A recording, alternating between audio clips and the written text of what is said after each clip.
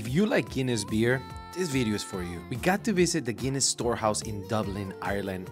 This brewery tour cost starts at 20 euros, but they also have some more premium choices if you're looking to splurge a little bit. This building is big, modern, and cool.